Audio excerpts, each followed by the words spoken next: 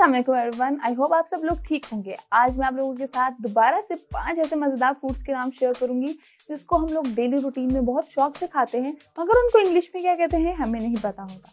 तो क्या आप लोग जानते हैं कि अनार को इंग्लिश में पॉमीग्रेनेट कहते हैं? खुबानी, जो कि छोटी और बड़ी मीठी सी एक अल्लाह तला की नेमत है, उसको हम लोग एप्रीकोट कहते हैं। आलू बुखारा का जो फल है, उसको हम लोग प्लम कहते हैं।